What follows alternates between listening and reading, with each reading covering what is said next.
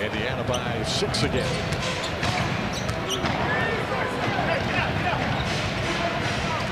Myles Turner picked up Payton on a switch.